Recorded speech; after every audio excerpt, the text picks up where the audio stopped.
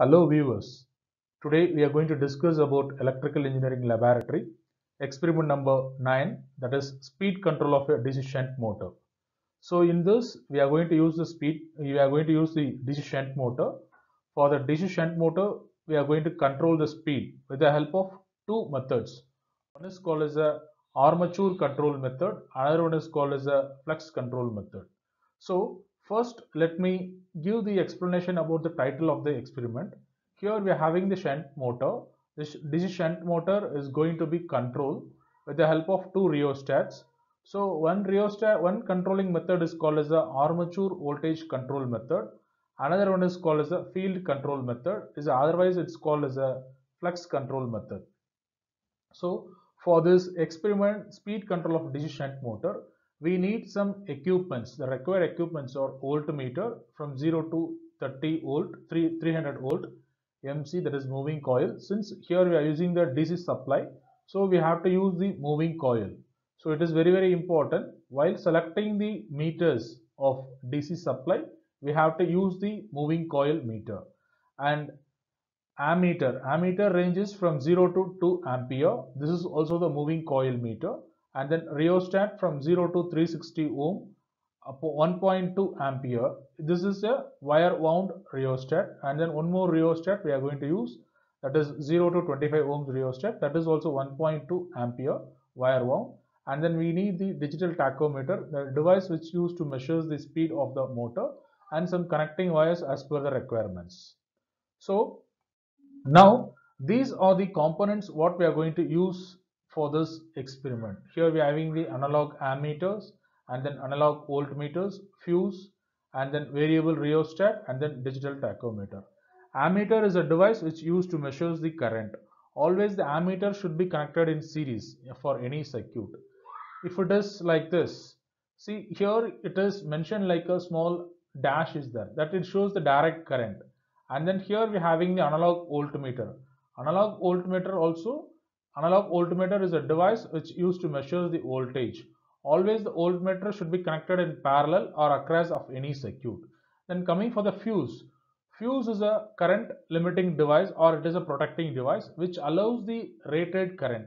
Say for example if the fuse carrier range is 10 ampere it will allow only the maximum of 10 ampere of current. If more than 10 ampere current flows, then the fuse will get melt and then it won't give supply for the upcoming components or appliance or any device. So fuse is a protecting device which limits the current. Whenever it is normal condition, the fuse will make the circuit. Whenever it is abnormal condition, the fuse will break the circuit. So this is about the fuse. Next, next coming to the variable rheostat. This picture it shows the variable rheostat here the main thing is we are going to discuss about cut in and cut out. What is meaning of cut in? Cut in means adding the resistor. Cut out. Cut out means we are not adding the resistor. Resistor is not account in the in the circuit. So that is called as a cut out position. So whenever the rheostat is cut in position, the resistor will be added.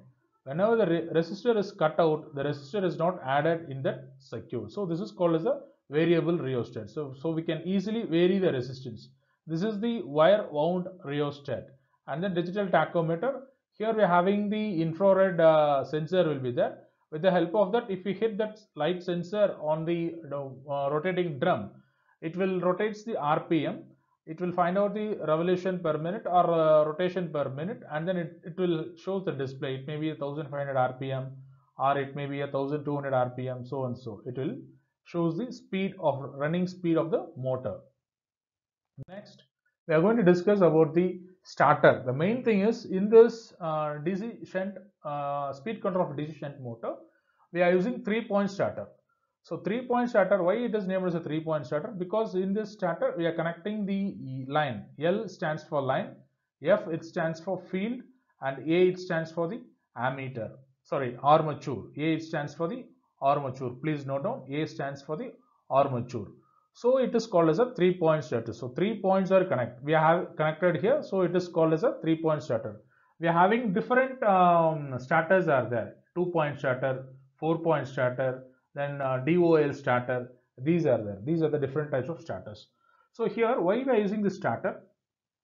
If uh, starter is used, Starter is also a protecting device which limits the current and allow the motor in a desired speed. What is called desired speed? The rated speed of the motor. That is the rated speed of the motor is 1500 rpm. That is 1500 rpm. So if we are not using the starter in any circuit, the motor, what happened? The motor winding get damaged because inrush amount of current will flow towards the windings. The winding get damaged or else the motor it doesn't run in a desired speed. It will be, it will run more than the desired speed. The desired speed is 1500 rpm. So it will be behind that the 1500 rpm. So it may causes some accidents or damage who is handling with that motor. So we have to use this starter. So starter is a current limiting device. How it is limiting the current? See here the setup is like this. So here having the position 1, 2, 3, 4, 5 like this. So here all it is connected in series R1, R2, R3, R4, R5. So whenever we are giving the current here, the current will flow towards R1, R2, R3, R4, R5. Then it will come to the winding, it will go for the field winding. Then due to the excitation, this armature it starts to rotate. So whenever it is in this position, the current should, it will flow through all the resistors. So the current value will be very less. So the motor it start, it doesn't start initially. When I am moving the handle to the position 2, whenever it is coming to the position 2, at the time R1 is cut out and then R2, R3, R4, R5 will be, only 4 resistors will be in the account. So the resistor value is slowly decreasing. So the current value will get slowly increased so the field winding get excited. Due to this excitation, this armature it starts to rotate slowly. So whenever the same fashion I'm moving to the position 3, 4, 5. Whenever it is coming to 5 and whenever it come to this position 6, that is called running position. At the time all the resistor R2, R3, R4, R5 including R1, all the resistors value are cut out. Once it become cut out, the current uh, resistor value will be very least. Then the current value will be more. So the, the field winding get excited in a good condition then it will allow the motor to run in a desired speed. So that is called as the desired speed. The rated speed is called as the desired speed. That is the main purpose of the starter. So here, here I am showing you that this is the uh, what is it uh, structural view of the starter. The same all this is the uh, line, single line diagram of a three point starter. This is the structural view of the three point starter. Here we are having different states are there. That is one, two, three, four, five. Like. So here it is in the position one, 2 3 4 5 6 7 like that. This is this is called as a run position. This is called otherwise it's called as a no volt coil. Whenever i'm giving the supply this point it acts as electromagnet. So when i'm moving the handle towards this in no volt coil or run position this will act as electromagnet. It will attract this handle. So the handle will attract here whenever the supply is present. Whenever the supply is absent this it act as a soft iron and then it will demagnetize it lose its handle and then handle it will kick back to its original position that is called off position. So this is about the three point starter. See here it is here it is connected as a LAF that is a line armature and field. So it is called as a three point starter. It's a very very important concept in this speed control of a DC shunt motor. Now we are going to discuss about the types of winding in a DC motor. Here are as we as we discussed that that field winding and then armature winding are there. Since it is called as a DC shunt motor in this the field winding and then armature winding this is called the field winding. So the field winding and then armature winding are connected across each other or parallel each other. So the meaning of the shunt is parallel or across. So this setup will be this is the structural diagram of a DC shunt motor. So next we are going to discuss about the circuit diagram of a DC uh, speed control of a DC shunt motor. So here we are giving the DC supply and then here we are having the DPSTS that is a double pole single throw switch and fuse the rating of the fuse is 10 ampere. And then here having one ammeter ammeter which measures the current of the line current how much the input current is given for the circuit. So it is connected to the L. So here the MC the meaning of the MC is that moving coil. If you are using the DC supply always you have to prefer the moving coil type meters. And then from the field this is the starter. Here as already we discussed that uh, the starter it has a starter it has a three uh, points will be there. Line field and armature. So the field next the field is connected to the arm uh, to the ammeter. The ammeter ranges from 0 to 2 ampere. And then following the other end of the ammeter it is connected to the variable rheostat now here I clearly given that cut out position and cut in position. see the rheostat which is connected to the field is called as a field rheostat and then rheostat which is connected to the armature is called as a armature rheostat. So here the rheostat which is connected to the field it should be in the cutout position and the rheostat which is connected to the armature it should be in the cut in position. You can see the arrow mark. The arrow mark is in the starting position that is called as a cutout position. When the arrow mark is coming that now we are moving the variable rheostat to this position that is called as a cut in position. So here the field winding, the rheostat which is connected to the field winding, we have to select 0 to 360 ohm and 1.2 ampere. This is about the rating of the field winding rheostat. And then following the rheostat, we have to connect the field winding. The field winding Z is connected to the uh, Z is connected and the other terminal of the field winding it should be connected to the negative terminal of your DC supply. Next coming to the armature. So from the point A we are having one rheostat. This is called as a armature rheostat. Always the armature rheostat it should be in the cut in position while we are starting the DC shunt motor.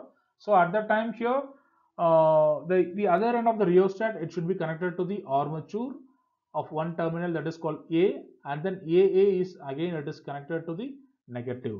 Then following that we have to go for the voltmeter. The voltmeter which should be connected across the armature winding. So as already we discussed that parallel connection means starting terminal should be connected to the starting terminal and ending terminal should be connected to the ending terminal. As so on here see here the main thing just uh, from the title of the experiment is speed control of a DC shunt motor. What does mean by shunt? As already we discussed that shunt means it is a parallel, it is parallel connection. So two windings are going to be connected in parallel. So here the main two windings are one is called as the field winding, another one is called as the armature winding. So as per the title of the experiment, the field winding and then armature winding both are connected in parallel.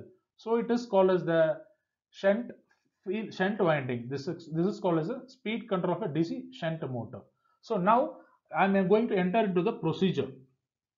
Procedure what we are going to do here uh, we discussed that we are having two controls controlling speed method is there. One is called as the armature uh, control method, another one is called as a flux control method. So first we are going to discuss about the armature control method. So in this armature control method, we are going to calculate the armature voltage and then speed of the motor. And then while coming for the uh, flux control method or field control method, we are going to find out the current as well as the speed of the motor. So this is very very important. So the procedure is first for armature control before going to the armature control method. First what we have to what we are supposed to do we have to vary this field winding rheostat for certain value and then here we have to check the speed of the motor. If the speed of the motor is near or it is exactly to the 1500 rpm because why I am selecting 1500 rpm means the rated speed of the motor is 1500 rpm. So that 1500 we have to change this rheostat from cutout we have to slowly increase as a cut in position and then we have to find out the speed of the motor whether it is uh, 1400 or 1500. Once it obtained to the rated speed that is 1500 rpm, here this rheostat should be kept as a constant. And then what we are supposed to do, slowly we have to vary this rheostat from cut in position to cut out position. So whenever I am moving this rheostat, that is an armature rheostat, from cut in position, I am moving slowly by step by step. First, if I am moving to this position, at the time I have to note down the uh, armature voltage and then speed of the motor. Next, second position. Whenever I'm moving towards slightly, I'm moving uh, out, cut out position. I'm increasing the rheostat from this position to this position. So at the time also, I'm supposed to do the find out the voltage and then armature voltage and then speed of the motor.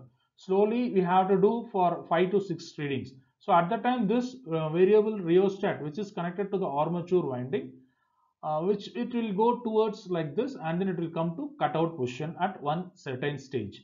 So after that what we are supposed to do again this then now the armature control method is completed. So again what we are supposed to do we have to kick back we have to read back from the cutout position of the armature winding from cutout position to cut in position. Once it comes to cut in position at that time the motor will run at a desired speed and then again this field winding rheostat. Now the field winding rheostat is in this position. Imagine it is in this position. Consider this is in this position and then slowly we have to vary this rheostat and then we have to find out the current that is the field current and then speed of the motor. For this also we are supposed to take 5 to 6 readings and then uh, we have to take the current that is the field current and then motor speed. After that, after all the 5 to 6 readings are taken, again this rheostat, whenever the rheostat in this position, that is that field rheostat in this cut in position, again this rheostat, it should be slowly come to its cut-out position to this, in this place. After that, we have to switch off the supply, that is called as a, uh, from the DPST, we have to switch off. Then the, uh, what is it, uh, then the starter, the three point starter, automatically it will come back to its original position. So this is about the um, uh, working, uh, this is about the explanation of, uh, of the speed control of shunt motor. So here I given the uh, description like the, what is called DPSTS, double pole single throw switch and then MC, MC is a moving coil. Whenever the DC supply is given, you have to be cleanly note down, note down that MC is the moving coil type. This type of meter only you are supposed to select. L stands for line, F stands for field, A is the armature, and then here ZZ this terminal is called as a field winding. ZZ is called as a field winding and then AA is called as the armature winding. AA is called as a armature winding. So since the field winding and then armature winding both are connected in parallel so it is called as a shunt motor. Here we discuss about the speed control of a shunt motor there are two types. One is called as a armature control. Another one is called as a flux control or it is called as a field control. So finally you'll get the graph like this. Speed versus armature voltage and then speed versus field current. Uh, i hope you enjoy this video. Thank you for watching this video. Subscribe support and share. Let us learn. Thank you